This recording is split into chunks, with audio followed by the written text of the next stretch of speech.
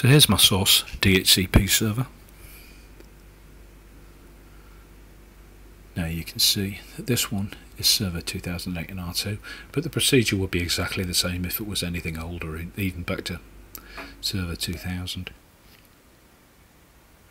And as you can see, on this DHCP server I've got quite a lot of scopes and I've got reservations. Now all of this stuff you could manually recreate on your new DHCP server, that would take you quite some time. What we're aiming to do is to back up these and restore these settings directly into your new DHCP server. So I'm going to open an administrative command window.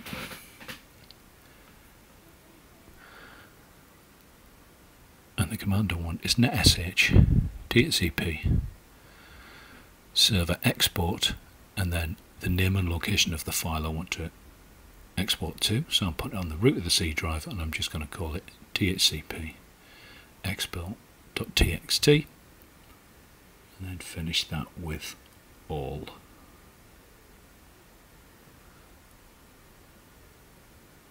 And then hit return. And after a few seconds, it should say command completed successfully. Now what that's, what that's done, if we have a look at the C drive, it's dumped all your DHCP scopes and settings into that text file. Now if you open that up, it's it's not really readable for a human being. It's gobbledygook, but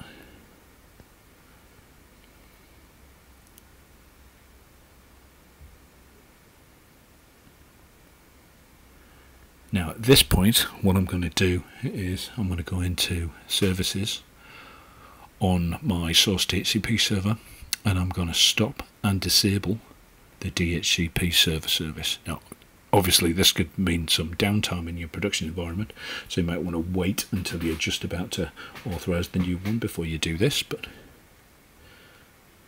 so that's my DHCP server stopped and disabled so if the server reboots it's not going to restart issuing DHCP addresses we're all disabled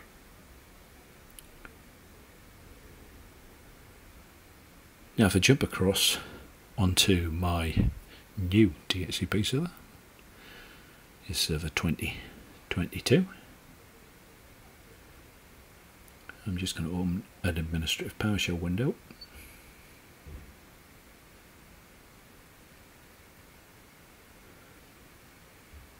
when it catches up. And just to prove it's not all smoke and mirrors, you can see that this is Windows Server 2022. Now I haven't installed DHCP or anything on here, so I'm going, while I'm in PowerShell I might as well install dash Windows feature DHCP and I want to include all the management tools. Now I've sped this up for the sake of the video so you might want to pause this if you're following along.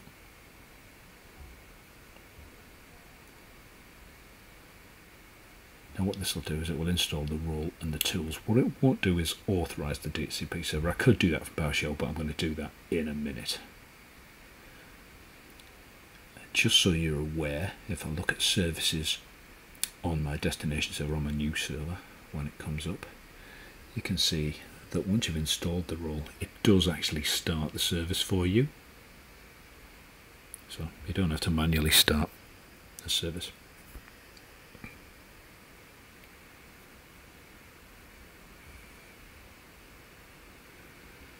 The next job is we need to get that exported file off our old server and copy it across onto our new server. So I'm just going to open a, a UNC path to the old box, to the root of the C drive, on the, to the old DHCP server, and there's my exported file. And I'm going to copy that and paste it onto the root of the C drive here, just to annoy all the security conscious people. Put stuff on the root of my C drive, but there you go. Uh, the command to import is very similar. It's an netsh DHCP server surprise surprise, import, then the path to the file that contains the DHCP settings, which if you remember is dhcp-export.txt, and once again all because I want to import all the settings from that. And you can see there the command is completed successfully.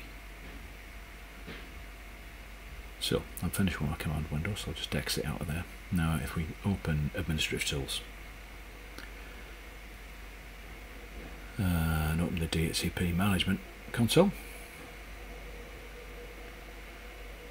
kind of drag this across to give us a little bit more real estate. Why does it inch and a half of the left hand column? I don't know. As you can see, all our scopes are in the scopes are down, you can see the minutes, but that's because remember I haven't authorized the DHCP server.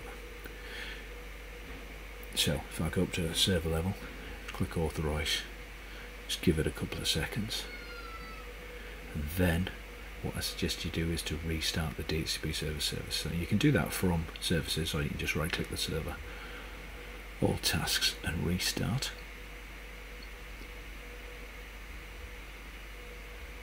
If we just have a little bit of patience when it comes back up again. You can see that both IPv4 and IPv6 have gone green. We don't have any IPv6 but this this would do the same. If we did and you can see there's all our scopes and our reservations. And that's us done migrated. Thanks very much for watching and don't forget to come and visit us at www.petenetlive.com